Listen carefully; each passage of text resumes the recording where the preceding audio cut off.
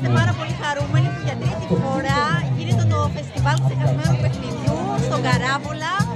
με πολλούς πολλούς ανθρώπους